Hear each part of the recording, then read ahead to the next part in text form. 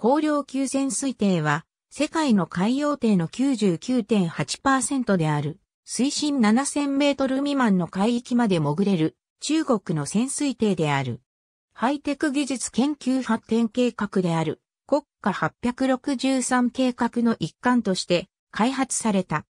シーポール級潜水艇と似たような仕様で2010年8月26日には最大深度が3759メートルに達し、中国は深度3500メートル以上の有人潜水技術を把握した5番目の国となった。カーブラが運用する。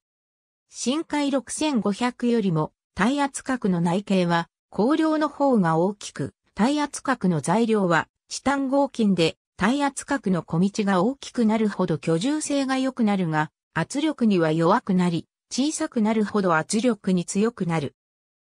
日本は安全に対して厳しいルールがあり、耐圧角の安全基準が日本では設計深度1.5プラス300メートルという構造強度基準で深海6500では1万50メートルの深さの水圧に耐えられる耐圧角の設計となっている一方、中国では国際標準化機構部会に対し6000メートルの深度については適用圧力を設計潜水深度の1.1-1.25倍で良いではないかと提案していて、米国も設計潜水深度1.25を適用圧力としている。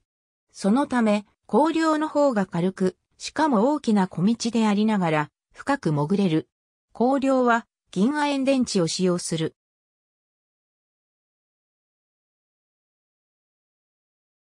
後部に X 翼を備えていて十字では1枚のダメージで機能が半減するが X 型では75%が維持される。2011年には潜水艇母艦紅葉くれない霊級の水深7000メートル級潜水のための改良が完成した。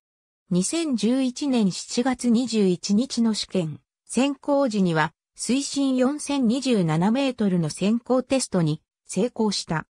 2012年6月15日にドラゴン級潜水艇、光量号は水深6671メートルに到達し、6月24日にはマリアナ海溝で7020メートルに到達した。ありがとうございます。